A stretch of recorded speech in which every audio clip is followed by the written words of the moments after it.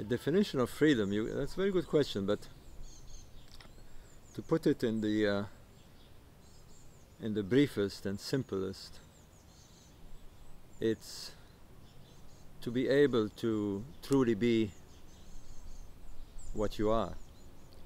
Uh, we're born uh, in cultures, uh, in our case in the 20th uh, century, that are that predetermine the way that we are going to live. Everything is preset. Uh, and yet, what uh, everybody tends to forget, it takes a while for people to wake up, is that this artificial culture that they're born in, I mean, they could easily have been born. There's no reason at all why they wouldn't have been born uh, 3,000, 5,000, 50,000 years ago. And had they been born 50,000 years ago, they would have been in the real natural world with the total freedom uh, that uh, is available. As, as a natural creature, it is a very dangerous life, of course, uh, but that's freedom. Freedom to be entirely uh, master and victim of your existence.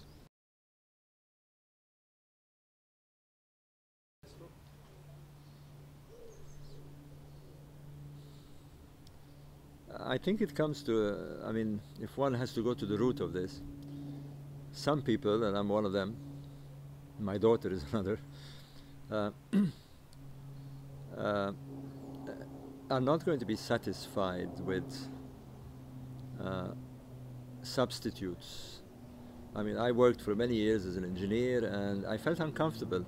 I was successful as an engineer, but it did not satisfy me. I knew there was something wrong. And uh, it took a while.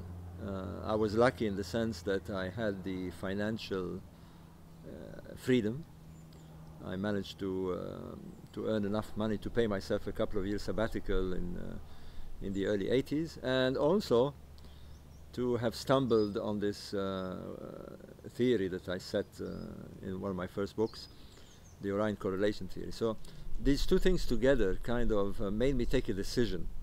I remember very, very well uh, taking a conscious decision saying, if I have the possibility to give myself time, I will do what I really want to do. And what I really wanted to do, and I almost felt it was an obligation. It's very strange to explain. I, I felt it was something that if I didn't do it, my life would have been uh, unfulfilled. I had to bring out this uh, this uh, this theory, and I did, and I'm glad I did, because I, I feel I feel I've fulfilled my my mission, uh, and it's it's, it's it's not just a satisfaction; it is a sense of of of having reached a point where you I mean, I'm not, I'm not finished with my life, but I feel that my mission, my real mission has been done. And, uh, and I think everybody has a mission. Uh, sadly, uh, many people do not identify it or they suppress it. Uh, worse, they don't have the courage to, to implement it. But if you don't, uh, for, for most people, they'll um, they they live their life in a in a, in a semi contented uh, protected environment and that suits them. For some people uh, if they don't do it they literally destroy themselves. They, they, they would literally destroy themselves. So it's an obligation in a sense. I've been very puzzled about uh, what we call coincidence, what we call fate, what we call luck, what we call synchronicity. Uh, uh, th these are words, and they're words that are used when we cannot possibly explain an event that does not seem to be uh, normal. Uh, things happen in our lives and our um, our mind refuses to acknowledge them as normal happenings. But because we can't explain them, then we will call them coincidence. And uh, I think everybody knows this, uh, feels this rather. And I've had so many things happen to me uh, that I've come to the conclusion that uh, what we call coincidence, most of the time, is some unidentified uh, law that governs our existence. Uh, I call it the law of chaos because it so seems so chaotic, and yet occasionally it shows itself. Uh, you know, uh, what are the coincidences uh, of not only me coming up with the um, correlation theory uh, at that time in my life, but at the very, very same time, very same time, uh, Rudolf Gantenbrink explores the shafts that are a key factor in my theory. At that same time, after 4,500 years, there is a conjunction of two events, and what are the coincidences of us meeting? Uh, it's, it's very odd uh, to think about it. Uh, in my case, I'm, uh, I remain puzzled as to why, of all the generations that have uh, looked at the pyramids, uh, certainly in the from the 1960s, where it was well known that there was a link between those pyramids and the belt stars of Orion, that had been shown in articles in Egyptology, uh, when it was well known from the pyramid text that there was a link between the king's uh, uh, rituals of rebirth and those particular stars, why no one noticed this correlation? Why me? And therefore, this this feeling that there is some sort of some sort of uh, totally uh, misunderstood uh, way that your life is being controlled. Uh, we, we like to say synchronicity because we have no idea what it means. But I begin to believe that there is something like that. And things do not happen because they simply happen. There is, there is a very, very complex law that put things together. But it's so complex that it appears to us as chaos.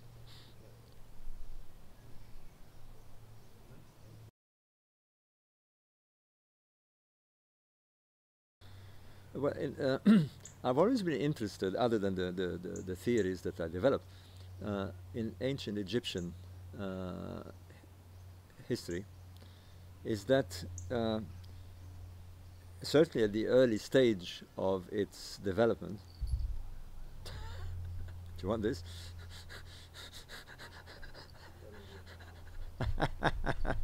Actually, it does look good. We were doing once, by the way, an interview with Zahi Hawass in a cafe, and a black cat came and jumped on me, and the viewer says, "Leave it, leave it.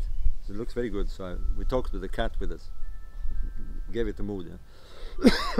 okay, shall I carry on? Uh, you were talking about uh, how, how the study of ancient. Uh, yes. Uh, well, what I was going to say is that um, uh, there is an interface between natural existence and suddenly becoming a social existence. Uh, there is there is a line that can be now according to uh, conventional uh, anthropology and uh, archaeology in Egypt that line appears somewhere around the fourth millennium there is a kind of prehistory uh, where we have uh, people emerging from hunter gatherers from being literally primitive to uh, becoming more and more complex and eventually becoming the pharaonic civilization. And therefore, I'm very I was very interested in this interface because they're the nearest thing that we can see as, as a kind of window into what is natural man. Uh, things were converted from the natural world into a artificial world, like uh, like language, uh, like uh, sign writing, like uh, ideas being symbolized by, by religious ideas and so forth. So that part of it got me very interested. In other words, that the early civilization of Egypt is, an, is a social model is a social model that reflects natural man. And that's what to me was very interesting. And it was very beautiful. I mean, uh, you know, with that, that very early stage of, of, of social complex existence, some wonderful things happened. I mean, the art is at its most sublime. Uh, they built pyramids. They, they, they had uh, wonderful ideologies related to, to life and the afterlife and uh, everything about it uh, glitters. And uh, to me, that was a nice model. There I do not believe, although it would be very nice, but I do not believe that it is possible to bring man back to his natural state, as Voltaire and Rousseau were advocating, particularly Jean-Jacques Rousseau. But I do believe that we can bring man to a social condition. And that's where Rousseau becomes interesting, that we can have a social contract with nature. In other words, that our uh, social existence is modeled on nature rather than modeled on bizarre religious ideas or bizarre uh, laws that do not suit our nature. So that is, I think, the future of the human race, is to redefine what is human nature and, and, and devise a constitution that fits its nature. For example, you know, we have a problem with the American Constitution. The first thing it starts is that all men are created equal. Well, the hard fact is that all men are not created equal. We see this in nature. We see this in, uh, in, in, in human existence. The fact is that there are intelligent people and not intelligent people. There are smart people, not smart people. I agree that we all have the same human rights, but we are not created equal, and therefore to impose a constitution of that kind brings us away from our nature. Uh, democracy is another one. You know, we really need wise men to make wise decisions. If we, we, we have a democratic system, which is happening in Egypt, by the way, where we're going to vote in in a country that is highly uneducated for that kind of sophisticated system, we're going to have a problem. So, I very much believe that the Egyptian model is something to study because it might show us the way as to what the future is.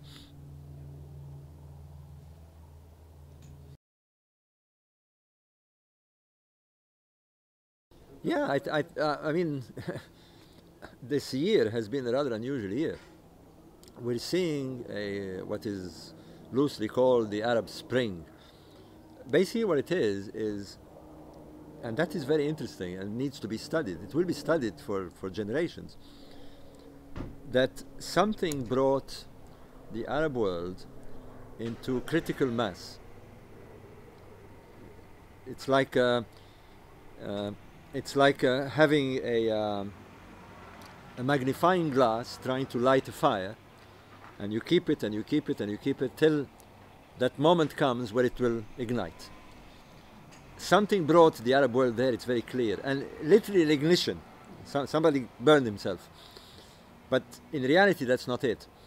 Uh, although it was the, the, the, the, the catalyst, if you like. The real event is world communication, the social network. They didn't realize this was happening, but it was. And it kind of linked an idea, like a giant uh, octopus, uh, touching everybody who was uh, in contact with a computer or a mobile phone or with Twitter. And it the government didn't see it happening. It's literally sparked. Uh, to me, that's very interesting because we're now, uh, the governments are, are, waking up to the realization that you just can't hide things from people. And what people are waking up to is that they do have a right to the freedom that is natural to them. They've been held down We've been, uh, I mean, I live in Spain, as you know. Coming here to England, one of the supposedly freest uh, society in the world. When I came here in, the, in, in 67, uh, the great pleasure of freedom of speech, I mean, anybody could take a, a carton box and go to Hyde Park Corner and say whatever he wanted to say. Well, that freedom is gone. Our freedom in, we live a very safe life, admittedly, you know, everybody has their little home and apartment and so forth, but the freedom of speech has gone. You cannot say what you want to say. Freedom of action has gone. And regulations have become so intense that you regulate it to the most extreme thing. So, to me, there is an awakening here. We, we, we, we wanted freedom to be able to express ourselves, but when we do express ourselves, then we're, we're, we're, we're told we don't have that freedom. There is a paradox going on. So to me, there is, a, there, is, there is an awakening, and how it will wake up, whether it's going to be a violent awakening, like it did in the Middle East, or whether the governments will come to realize that you cannot suppress people to that extent. We cannot control people to that extent. We can't tell them what to do all the time.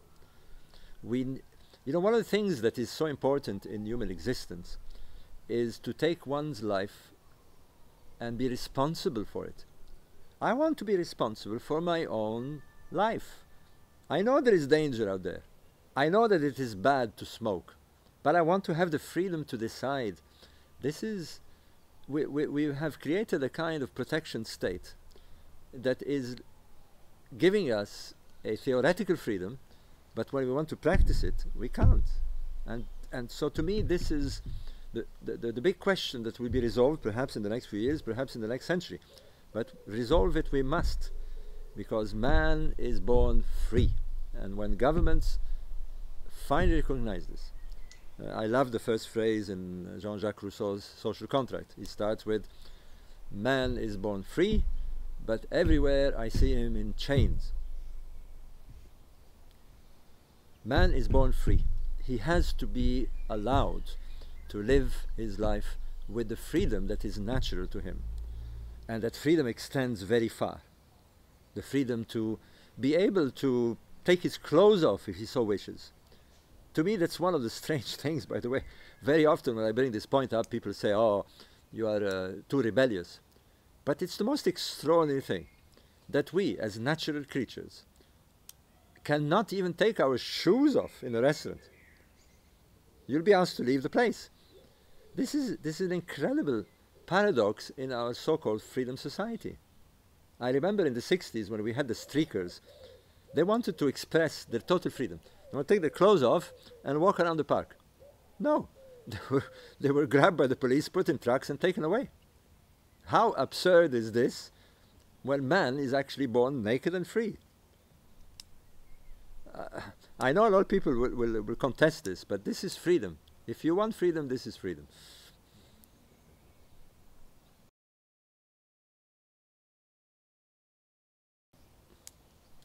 Well, that's how freedom is unfortunately controlled. You know, we're told, ah, you want that kind of freedom.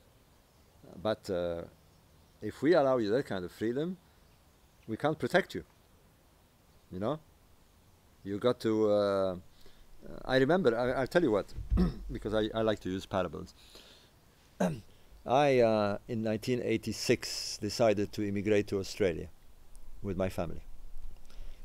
And quite frankly, I, uh, one of the things that attracted me, my family, my sister and my mother were already living there, was that I thought I would be going to a land where uh, uh, there was still a lot of this kind of natural freedom about, you know, had, you know, open spaces and uh, beaches, and I was stunned when I got there. I exactly the reverse. I remember very, very well. The first week I was there, um, I actually bought a house straight out, and uh, came to visit me the the uh, the local council uh, inspector, and I realized incredible he demanded that I do silly things like uh, my house was fenced, my garden was fenced properly, and I had a pool. He insisted that we put a secondary fence around, and I said, This is ridiculous, we don't need a second fence. But I had to put it in my own property. I wasn't free in my own garden. Uh, there was a branch that I wanted to remove from a tree because it was polluting my swimming pool, and they wouldn't give me permission. And I finally said, Well, what, where is my freedom? if I can't exercise my freedom in my own garden. So I, I know a lot of people sort of fall for this kind of argument that we're doing it for your own protection. I was capable enough to decide what was dangerous or not dangerous for my children. I didn't need uh, a committee to come and tell me. So th- this, I'll tell you a very good one that I use as an example. Next door to us, a few houses down, was an old lady who had a cockatoo parrot as a pet. Now, I was living in Sydney at the time. Sydney is literally overwhelmed with these cockatoos. They fly all over the place, like sparrows in Europe. They're nice big white birds uh, that do a very crackling noise. They and in the morning, eh, although I enjoyed it, but they do make a lot of noise. Now, that's fine. The free birds are flying, nobody can complain. But she had a pet, and the neighbor complained that her cockatoo was making a lot of noise in the morning. Although there were the others, but hers was a pet. So the council came to inspect, and they actually measured with a with a machine with a with a with a with a, uh, with a, with a sound counter the decibels, and apparently the cockatoo was above the acceptable decibels. And she was given the choice of either getting rid of the cockatoo or facing a court action. She went for the court action. They put her a week in jail with a fine. To me, that was it. I mean, to me, if you can't, if you can't reason that one out, so uh, we, we, I'm puzzled as to how we want to control freedom. You know, we, we, we, we're supposed to be in the free world. You know, I can't take, in Australia, I couldn't take my kids on the beach without being fined if they didn't wear a hat. Oh, yes. They tell me that if my kids do not wear a hat, there is a law that I get fined. I have to decide. I don't need the nanny state to tell me what is good or bad. There is laws that are, are, are acceptable, but there are silly laws. But we're coming up with them all the time. Every day there is something new in our free society that impinges on that liberty and freedom that you naturally have. So the future of the human race is to wake up. The future of the human race is to realize that true happiness is living one's life in a state of responsibility and freedom of, of choice. The choices are being removed.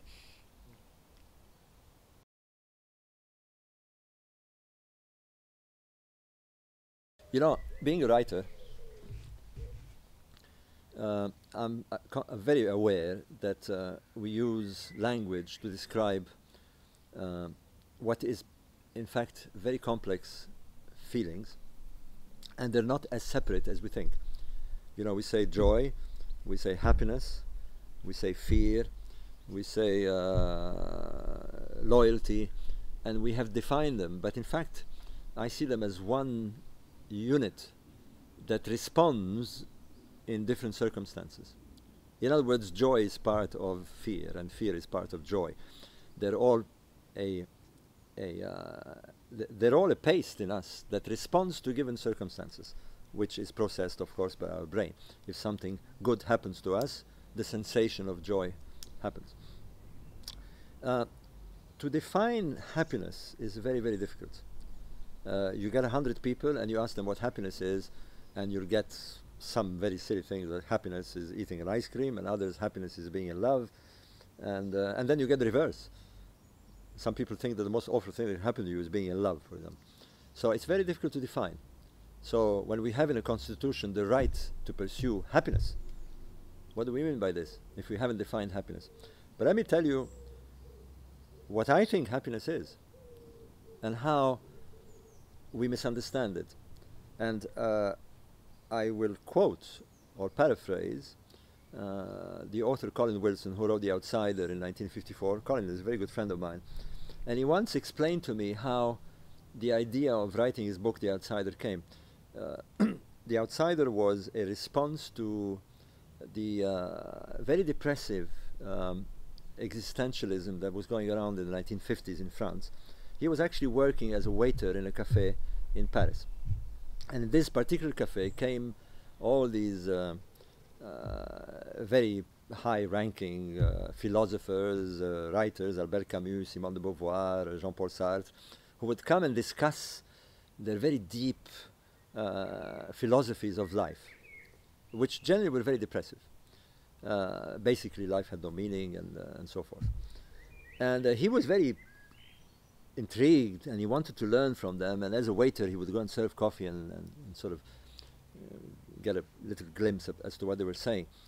And he says on one occasion, uh, around the table, they were all in a heated discussion, and one of the ladies, who was apparently a very pretty lady, uh, dropped her spoon, but in the heat of the conversation, she didn't realize she had done this. And so he, uh, while they were talking and ignoring him, went under the table to pick it up. And he describes what he saw. She had her legs crossed, and she was uh, exposing uh, a very pretty foot. Uh, she was wearing a pair of sandals, he says. She was, and she had lovely uh, nail polish, and she was wearing an anklet. And when he looked at this, he felt an intense happiness.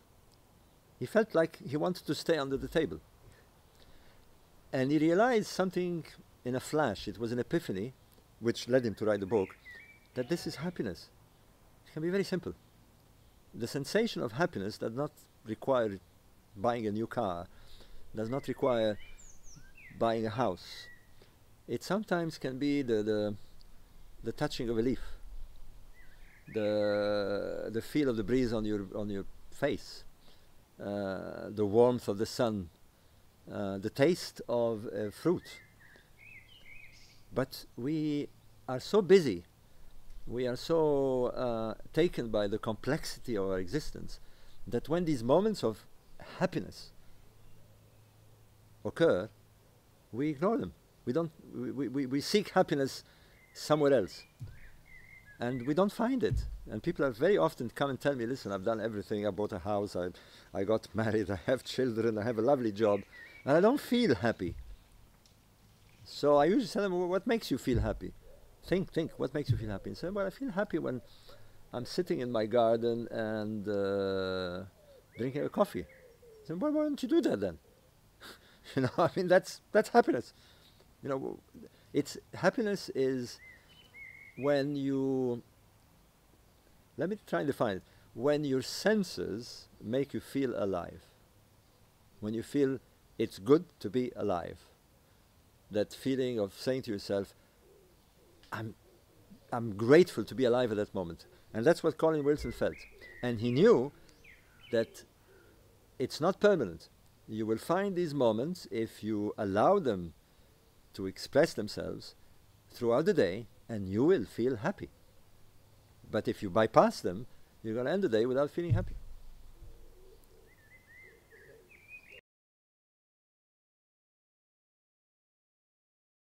Um, I wanted to write. I wanted to express the, these ideas I had related to ancient Egypt and uh, and the, the star religion and so forth. That was an ambition but uh, it was part of what happened to me. What happened to me was that I began to allow myself more and more uh, the. Um, I was going to say the pleasure because it is a pleasure. Uh, the to allow myself to enjoy moments. You know, nowadays, for example, I'm very aware of this. Uh, when I go and have a shower, I don't simply have a shower. I will allow myself to enjoy it. I will take my time. I will feel the water. I will enjoy the soap. I will uh, enjoy the smell.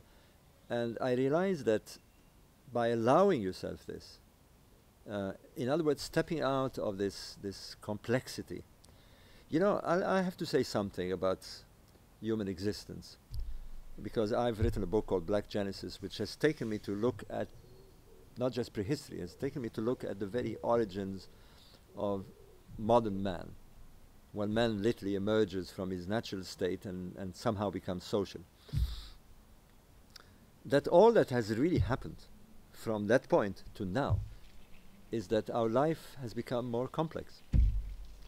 But now it is so complex, just the mere fact of making a cup of coffee to, to early man, to natural man, that would have been an extremely complex thing.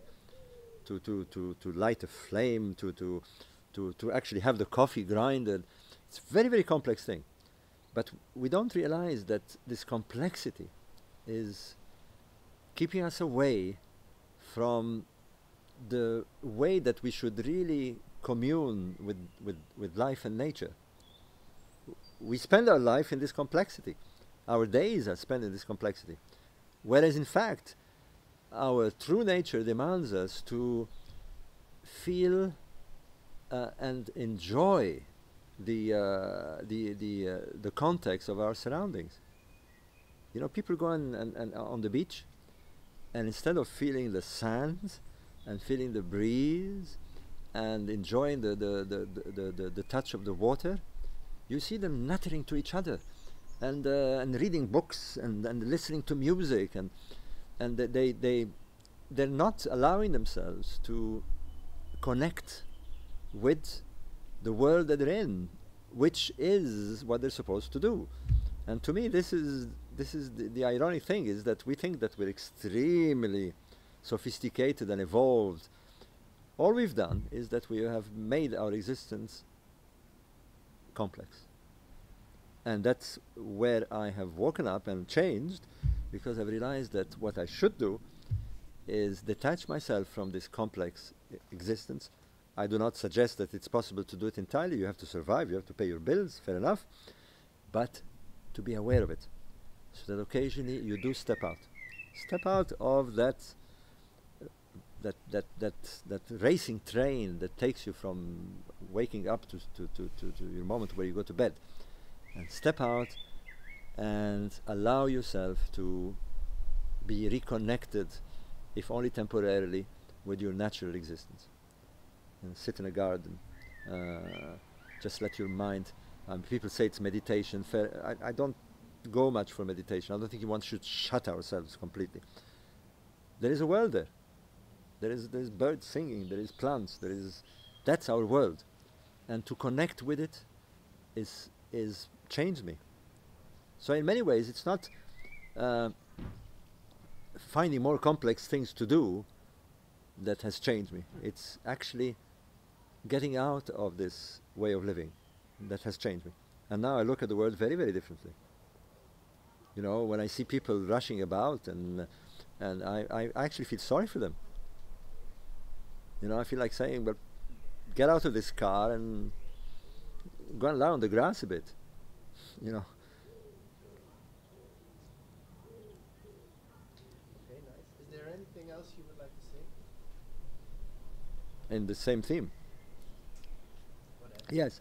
Well, I think finally what one has to say is, uh, like my friend Graham Hancock says, you know, is this it? Or is there uh, something beyond our life on this planet? Well, the conclusion is that it's a 50 50. It's either there is or either there isn't. And nobody has come back to confirm it. So, with that in mind, uh, I am acutely aware that I've been born, I exist in an extraordinary place. I mean, it's, it's, it's an amazing adventure that we have here.